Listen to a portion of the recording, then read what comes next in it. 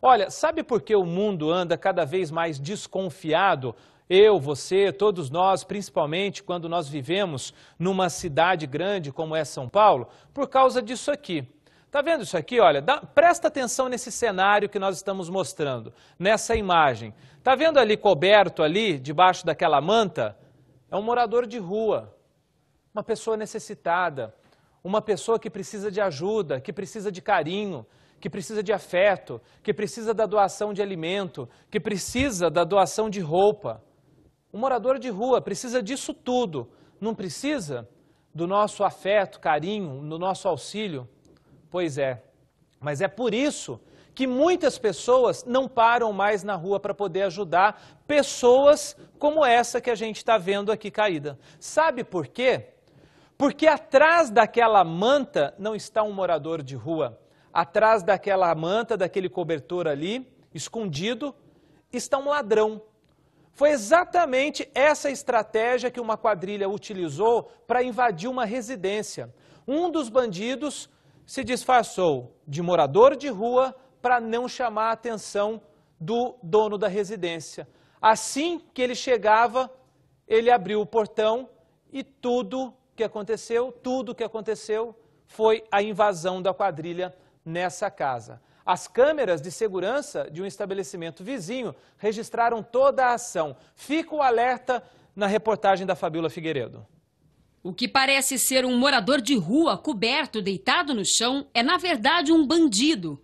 O disfarce foi usado para não chamar a atenção de quem passava pela rua em Ribeirão Pires, na Grande São Paulo. O ladrão e outro que nesse momento não aparece no vídeo ficam de tocaia desde antes das 6 horas da manhã do primeiro dia do ano. Repare que às 6h49 o morador sai no portão, observa e volta para dentro. No minuto seguinte, ele volta a sair e dessa vez abre o portão. A movimentação do falso mendigo chama a atenção, mas o morador dá só mais uma olhadinha e parece não suspeitar de nada. Nessa outra câmera, dá para ver que o criminoso ameaça sair, mas permanece deitado à espera do momento certo para agir. Quando o carro chega na calçada, ele sai debaixo da coberta, já com a arma na mão, e, junto com o comparsa que desce a rua, anuncia o assalto. A vítima é obrigada a sair do carro e levada para dentro de casa pela dupla. Instantes depois, uma mulher sobe a rua, outra desce e para do outro lado, um pouco mais para baixo.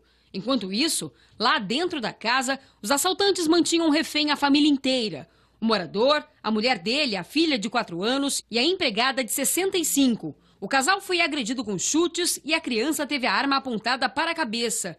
Para não chamar a atenção de vizinhos, um dos criminosos vai novamente até a garagem, entra no carro e tem dificuldade para engatar a ré. Nesse momento, a mulher que observava do outro lado da rua, de forma suspeita, atravessa e tenta empurrar o carro. Mas depois de quase um minuto tentando, o ladrão consegue guardar o veículo.